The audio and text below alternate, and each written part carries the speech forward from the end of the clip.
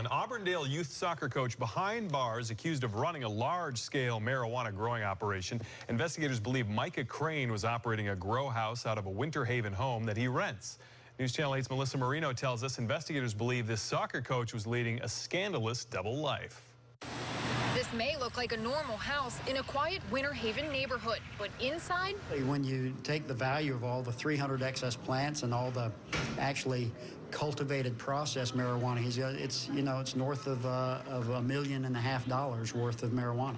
Investigators are calling it one of the most sophisticated grow houses they've ever seen in Polk County. Uh, fertilizer, you know, liquid nutrition for these plants. I mean, it's quite a it's quite a setup. This video shows undercover detectives raiding the house and destroying all of the equipment. Uh, the fuse box that he's got and the electrical, he was able to avoid the uh, meter and a great electrical setup. Just as shocking, investigators believe this man, Micah Crane, was running the operation. He's an Auburndale Scream youth soccer coach. Apparently, he has a he has a good reputation of being a good coach and a, and a good guy. So, but obviously, he led a double life.